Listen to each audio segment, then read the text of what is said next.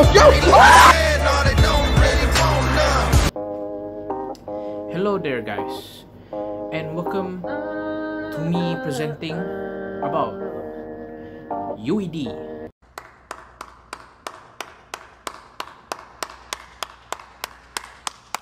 I'm going to talk about in this video, well first I have to introduce myself.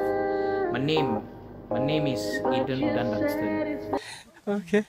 You know, I am 18 years old and I am continuing my studies in UITM and I am taking industrial chemistry atau industri kimia AS115 basically. And today I'm gonna go talk about in this video is ODL. What is ODL? ODL is online distance learning. Now, the ODL is basically online distance learning that we are as students that we are learning our subjects our courses basically through online. And the reason why we have to learn through online is because this whole covid-19 situation. Hey, it's Corona time, right? situation basically had to go make us learn within safety distance basically not to be in crowds this situation proceeds to grow badly right now. Anyways okay now about odl i want to go talk about the advantages and the disadvantages of online learning. Distant online distant online distant learning you you could about is that it will help us prepare for future jobs that require us to do it online.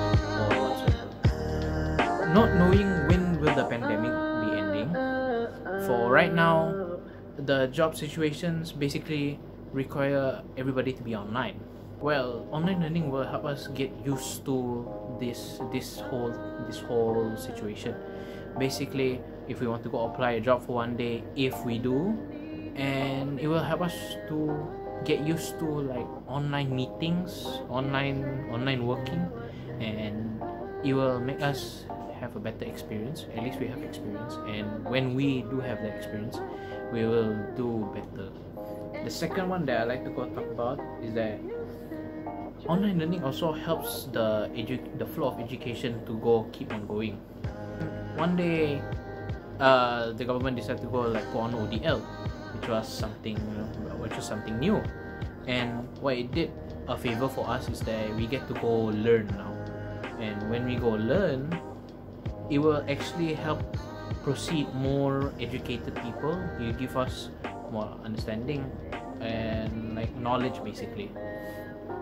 So when we do get a knowledge uh, from the teachers from from a safe distance it will be good. And then there's the disadvantage of online learning. This is for serious mode what are the disadvantages of online learning? Basically uh, number one not everybody has internet. Basically some of my friends they have troubles entering entering the platforms that the teachers or lecturers would provide. And they won't en- they cannot enter is because due to their internet connection. Internet connection matters on what area or the what line of what line of internet communication uh,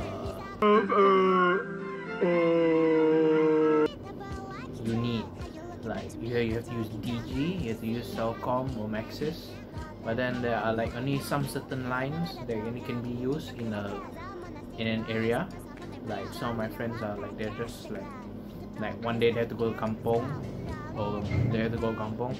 Then the next thing you know like when they have to go uh, attend a attend a lecture it's quite hard. Like they have to go wait until they go to an area where it's more easier for them to go connect the internet.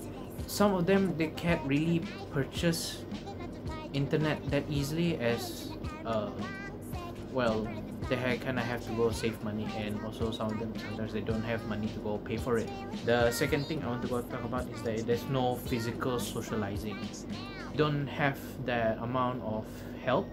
You can't just go them to them directly even though we can use our phones but sometimes like we require them to be physically there so that we can actually have that sense of understanding with them to know whether they understand or not. Because from a screen you, you can't really tell their emotions. You can't really tell they understand because everybody has a different level of understanding.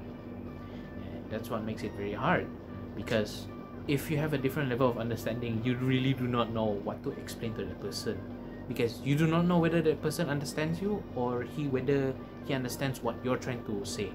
When we look at the screen it's just only that one thing that we can just look at. Uh, other than that if the lecturer is over there at least we can uh, physically at least we can go keep an eye on the lecturer and like understand as he or she explains the things that we that, that we have to learn about. We want to go ask a question and go point to that one thing that we want to ask for. Uh, it will be easier for us to understand. It's when it sometimes just like also just put just makes us feel like we're just like looking at that one way screen and like the only time they can able to connect us is when we unmute the mic or turn on our camera then unmute the mic basically. So it's very it also can get us tiring as also uh, some of us also don't like to just be uh, sitting down just looking at the screen. Because the feeling of sitting down and looking at the lecturer is different. As the lecturer sometimes I have to admit keeps an eye on you. And it makes you feel like you I say it makes you feel like that you should take this course seriously. So the seriousness is there. That's why. And yeah.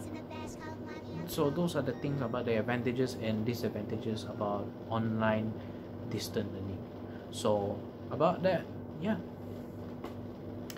Guys uh, hopefully you guys learn. Peace out